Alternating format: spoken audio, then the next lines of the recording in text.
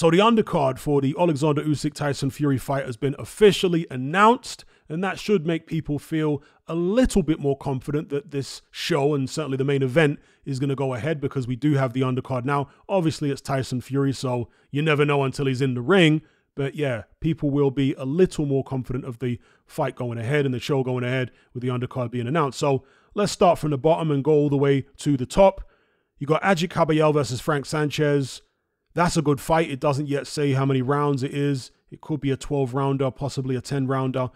And surely that's got to be some type of eliminator. I think it is. I may have done a video about it. I think that might be the WBC eliminator between Kabayel and Sanchez. That's a good one. You've got Moses Itauma stepping up against a Kazakh, a German-based Kazakh, who is 24 and three. He's lost two of his uh, two of his three losses have come by knockout or stoppage. Excuse me. He's 28 years of age, so a young guy. If we have a look at his record here, uh, 20 KOs, so maybe he's got some power there. Lost a split decision last year against the guy that was four and two, so that's not a good sign, is it? What else we got in here? He lost to Tom Schwartz, and that's definitely not a good sign. He got stopped by Tom Schwartz in the sixth round. Well, there's a no contest, no decision there. He was also stopped. Oh, he fought Tom Schwartz twice. So he was stopped by Tom Schwartz in 2015 and then he was top, stopped by Tom Schwartz again in 2019. So, yeah, despite the record here, and perhaps this guy can punch a bit, this should be food for Moses Itauma. He should be able to go through this guy with relative ease, given the fact he's been stopped by Tom Schwartz twice. And this fight is an eight rounder. I would not expect it to go the distance unless this individual goes into the type of survival mode where he's basically not throwing any punches and he's very good at covering up. Maybe he can last the distance if he does that. But no, I think Itauma's going to take him out. Then we've got David Nyika. Not sure who that is. I haven't seen this guy before, but he is six foot six inches tall from Australia, but he's only a cruiserweight. So a very, very tall cruiserweight we got here. Never seen this guy before. He's taking on uh, a 12 and 0 fighter from Germany. That's interesting. Not familiar with either of these two. Isaac Lowe, of course, who's Tyson Fury's mate. Uh, he's on there. I thought he'd retired after the last time he got bashed up, but apparently he's back and he's fighting a guy called not Hasbullah, but Hazibullah. Hazibullah. Shout out to the, you know, little man Hasbullah. Legendary character. In fact, where's this guy from? Is he Emirati? Okay, he's he resides in the Emirates, but he's actually from Afghanistan. Okay. Don't get many Afghan boxers. So who else is on here? Sergey Kovalev, that's an interesting one. He's on this card against the guy called Robin Safar, a Las Vegas based Swede. All right, the guy's 16 and 0. He's fought his whole career at cruiserweight, 31 years of age.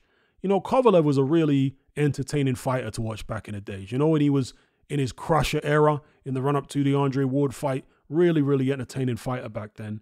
And at cruiserweight, I know he's had a few wins. I think he beat Kubrat Pulev's brother, didn't he, at cruiserweight? So let's see what Sergey Kovalev's got left at uh, his ripe old age. What is he now?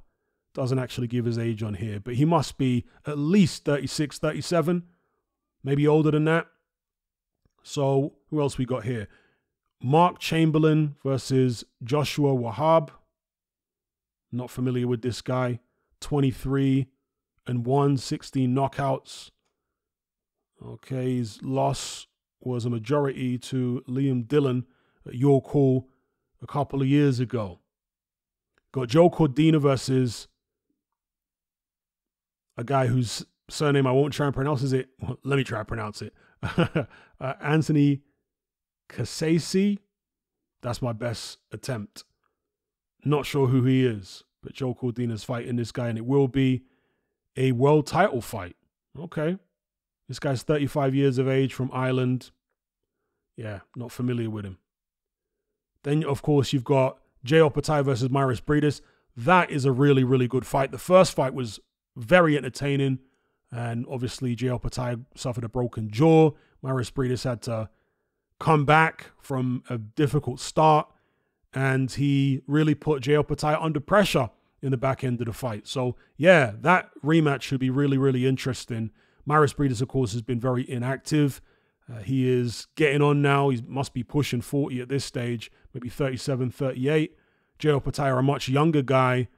Neither guy has been massively active. Well, actually, tell a lie. Jai Opetaia fought twice last year. Mairis Briedis, I think, didn't fight. Did he fight at all last year? Or is it just the. Yeah, he didn't fight at all last year. He fought Opetaia in 2022.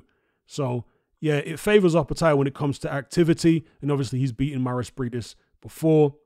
But still, you never know when uh, Mairis Briedis is going to be completely spent. Perhaps he's got one good performance left in him. We shall see. Now, overall, I'd have to say this undercard isn't amazing. There's a lot of fights on there, but it isn't as strong as some of the other cards that we've been seeing recently in Saudi Arabia, uh, where they've really stacked it from top to bottom with quality fights all the way through. This one is more like a regular card. It's not a bad card by any means. And at the end of the day, the most important thing is the main event.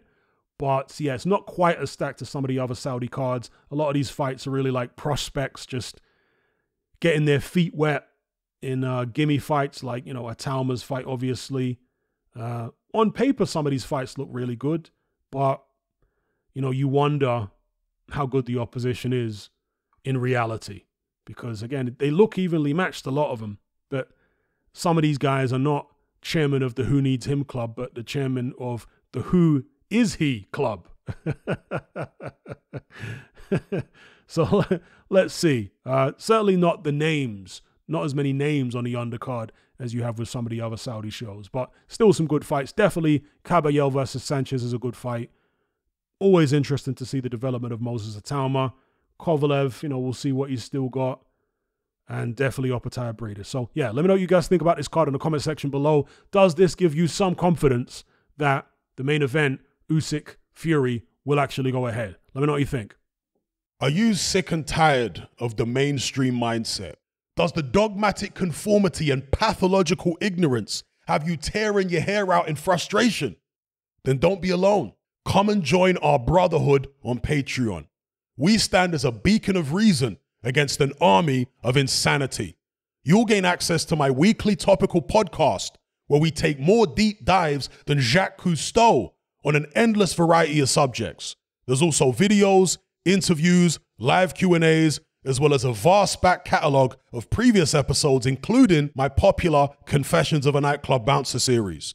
You can listen via the Patreon app or download in high quality MP3. Connect with myself and hundreds of other members in our Element chat group. There's no contract, no commitment. You can cancel at any time, and it's cheaper than a Mickey D's McMuffin. Just head to my Patreon page via the link below this video and select the tier called the Brotherhood of Reason. I'll see you over there.